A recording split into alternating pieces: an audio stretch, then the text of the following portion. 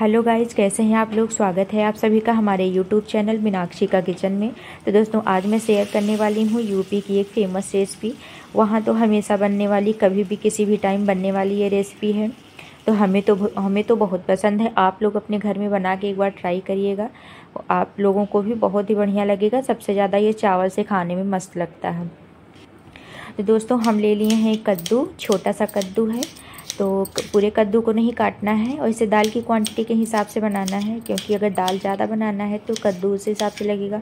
अगर दाल कम बनाना है तो उस हिसाब से लगेगा जैसे आप बना रहे हो। तो हमने कद्दू के एक छोटा सा भाग ले लिया है इसको अच्छे से कट कर लेना है। कद्दू को पहले से भी धो लेना है और कट करने के, के बाद भी इसको अच्छे से वाश कर लेना है। अब हमने चने की दाल को एक कटोरी चने की दाल ले लिया है और आधी कटोरी से कम तूर दाल ले लिया है। आप चाहें तो तूर दाल स्किप कर सकते हैं, क्योंकि हमको पसंद है तो इसलिए हमने यूज़ किया है। और बहुत सारे घरों में तो नहीं यूज़ करते हैं, सिर्फ़ चने की दाल में बनाते हैं, बहुत ही टेस्टी लगता है। आप अपने घर में ट्राई करिएगा तो दाल को खूब बढ़िया से अच्छे से दो तीन पानी इसको वाश कर लेना है। उसके बाद हमने पानी दाल की क्वांटिटी के हिसाब से दो कटोरी हमने पानी यूज़ कर लिया है और कद्दू को भी अच्छे से वाश करके इसमें ऐड कर देना है। इसमें ज़्यादा कुछ नहीं यूज़ करना है। हल्दी, एक चम्मच हमने हल्दी यूज़ किया, जैसे दाल में बनती है। और नमक स्वादानुसार अब इसको हम बंद करके गैस के गैस के फ्लेम को जला देंगे। अब इसे हम पाँच छः सीटी तक पकने देंगे।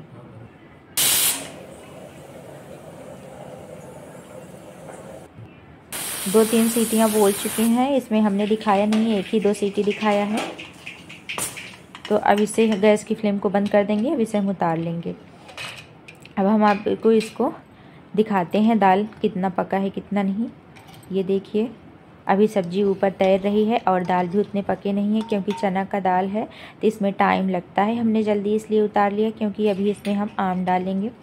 एक आम हमने यूज़ किया है। आप चाहें तो दो तीन आम यूज़ कर सकते हैं अपने टेस्ट के अकॉर्डिंग। और बहुत सारे लोग खटाई भी डालते हैं उसका मसाला। तो एक सीटी बोलने तक हम इसको रखेंगे, उसके बाद अब फिर उतार लेंगे। जब इसका गैस अपने आप निकल जाए, तभी खोलना है अपने से नहीं अब ये देखिए, दाल एकदम गल चुके हैं, ये बहुत ही बढ़िया। दाल तो बन के तैयार हो गई है, देखिए। ये ऐसे ही कितना टेस्टी लग रहा है। अब इसको इस भगोने में ट्रांसफ़र कर लेंगे दाल को। कुकर से निकाल लिया है हमने। अब इसको फ्राई करना है हमको। बिना फ्राई किए इसमें स्वाद उतना नहीं आएगा। सिंपल दाल में भी स्वाद आएगा, क्योंकि चने की दाल वास्तव में वैसे भी चने की दाल बहुत अच्छी लगती है, पर फ्राई करने के बाद उसका टेस्ट ही अलग हो जाता है।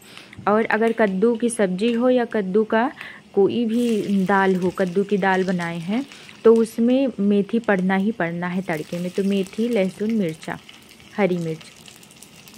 आप अपने हिसाब से मिर्च का यूज़ करिएगा। और लहसुन तो इसमें डालना ही डालना है क्योंकि उससे बहुत ही टेस्ट आता है। जितना लहसुन की तड़का लगाएँगे, उतना ही इसमें स्वाद आएगा। अब इसको ऐसे धीरे से हम फ्राई कर लेंगे। अब सही मायने में दाल हमारी अब बन के रेडी हो गई है। अब इसको सजाने के लिए धनिया से गार्निश कर दीजिए। और दोस्तों, इसको यूपी की भाषा में लगदावा बोलते हैं। आप लोग इसे क्या बोलते हैं, ज़रूर से ज़रूर कमेंट में बताइएगा। दोस्तों, वीडियो अगर अच्छा लगा हो और कुछ अलग सा लगा हो तो ज़रूर से ज़रूर लाइक, कमेंट, शेयर करिएगा और सब्सक्राइब करना ना भूलिएगा। दोस्तों, आप लोगों के सपोर्ट की बहुत ज़रूरत है। अब इसे दाल चावल के साथ परोसिए, बहुत ही अच्छा लगेगा। धन्यवाद।